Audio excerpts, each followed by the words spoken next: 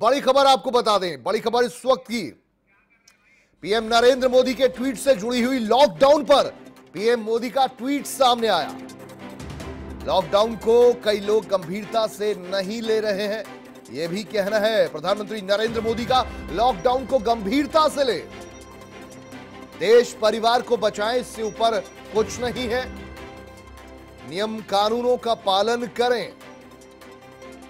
Lockdown में साफ़ तौर पर मतलब इसका यह है कि बिना ज़रूरी किसी काम के घर से बाहर ना निकला जाए।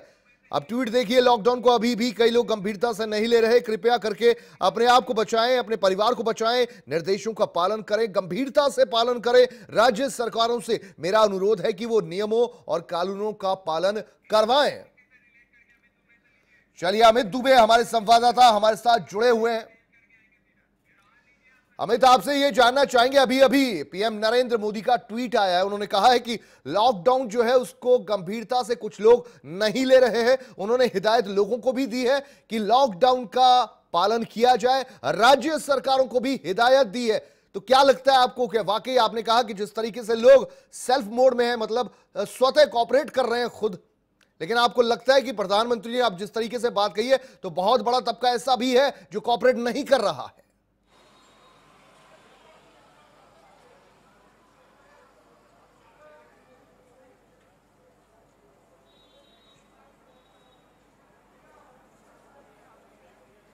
जी, बिल्कुल देखिए, साफ़ तौर पे कुछ ऐसे प्राइवेट कर्मचारी, कुछ ऐसे प्राइवेट संस्थान है जो कि खुले हुए हैं। ऐसे में लोगों की वहाँ पे ड्यूटी करना मजबूरी है और उस ड्यूटी के वजह से वो कहीं ना कहीं बाहर निकलने को मजबूर है। अब ऐसे में जब तक वो संस्थान इस चीज़ को कॉपरेट नहीं करते लोगों की मजबूरी है कि लोग किस तरह से अपने आप को सुरक्षित रखें।